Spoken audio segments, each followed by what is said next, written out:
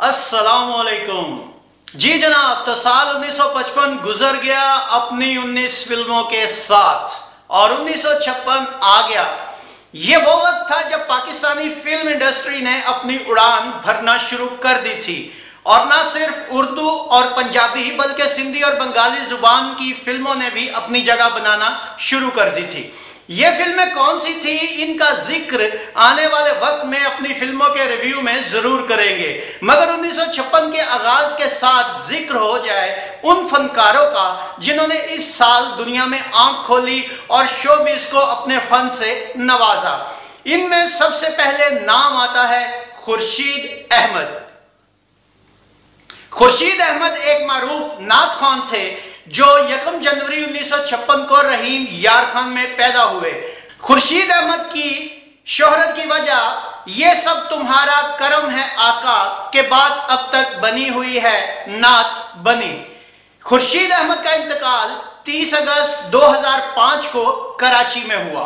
बुशरा इंसारी, पाकिस्तान की वर्स्टाइल गुलकारा अदाकारा मेजबान बुशरा इंसारी 15 मई 1956 को पैदा हुई। 1960 में चाइल्ड स्टार की हैसियत से अदाकारी का आगाज़ करने वाली बुशरा इंसारी ने लातदा टीवी ड्रामों में अपनी अदाकारी के जौहर दिखाए।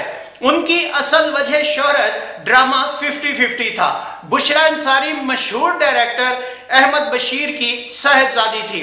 बुशरा इंसारी ने अपने फिल्मी सफ़र का आगाज़ 2015 में जवानी फिर नहीं आनी नामी फ़िल्म में किया।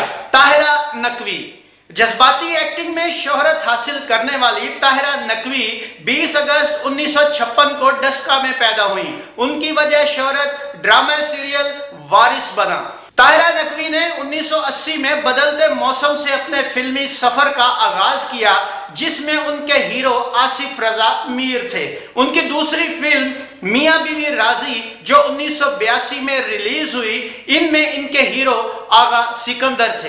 बदकिस्मती से इसी साल ताहरा नकवी कैंसर जैसे मोजी मर्ज का शिकार हो गई और 26 साल की उम्र में 2 जून 1982 को खाल के हकीकी से जा मिली।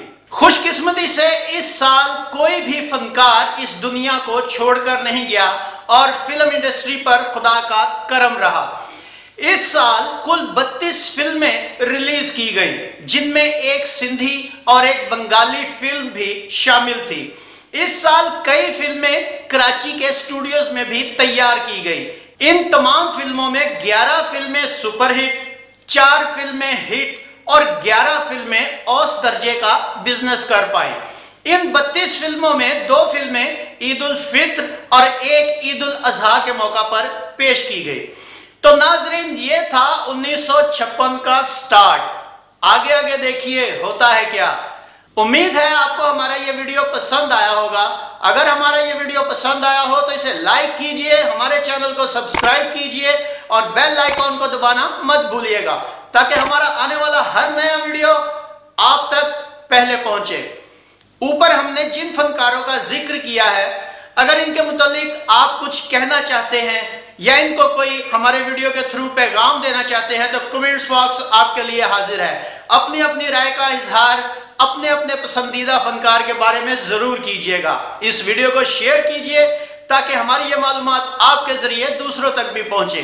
गुलफाम को इजाज़त दीजिए अगले वीडियो में 1956 की पहली फ़िल्म के साथ आपके सामने जल्द हाजिर होंगे। अपना बहुत सा ख्याल रखिएगा। अल्लाह आपका हामी नासिर हो। अल्लाह हाफिज़।